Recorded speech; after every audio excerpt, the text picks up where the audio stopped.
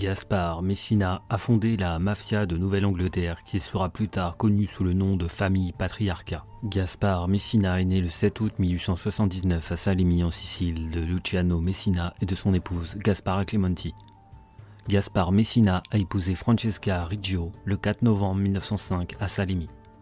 Le même mois, le couple a émigré aux États-Unis, arrivant dans le port de New York le 25 novembre 1905 pour une longue lune de miel le couple s'installe dans le quartier de Williamsburg, à Brooklyn, et décide de rester aux États-Unis de façon permanente. Alors qu'il vit à Brooklyn avec une famille qui s'agrandit, Messina ouvre une boulangerie et rejoint la mafia locale qui sera plus tard connue sous le nom de famille Bonanno. En 1915, Messina et sa famille s'installent à Boston. Il y ouvre une nouvelle boulangerie et devient rapidement le chef de la mafia locale d'origine sicilienne. Les circonstances exactes de la formation de sa famille criminelle et de son ascension au rang de chef sont inconnues.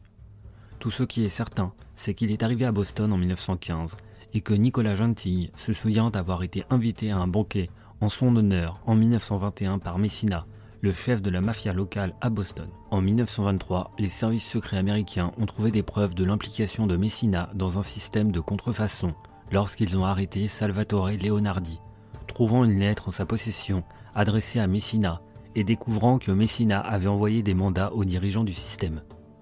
Plus de 50 personnes ont été arrêtées pour avoir participé à la distribution d'un demi-million de dollars de faux de 10 dollars de la Federal Reserve Bank of Boston.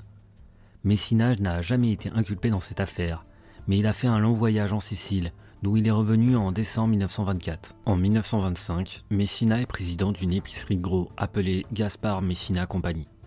L'un de ses associés, Frank Cucciara, est arrêté le 26 mars 1925 pour possession d'armes à feu de 6 bâtons de dynamite et une quantité importante de morphine. Plus tard dans l'année, Kuchiara est condamné à une amende pour avoir organisé une loterie illégale. Vers 1927, Messina et sa famille s'installent dans la banlieue voisine de Somerville. Lors d'une réunion à Boston en décembre 1930, Messina est choisi par ses collègues mafiosi pour devenir temporairement chef de tous les chefs, après avoir retiré le titre à Joe Masseria au cours de la lutte entre ce dernier et son rival, Salvatore Maranzano, souvent appelé la guerre de Castellamares.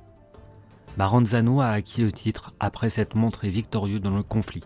Selon un appareil d'écoute du FBI placé dans le bureau de Raymond Patriarca, Messina a quitté son poste de patron en 1932 et a été remplacé par Phil Bucola.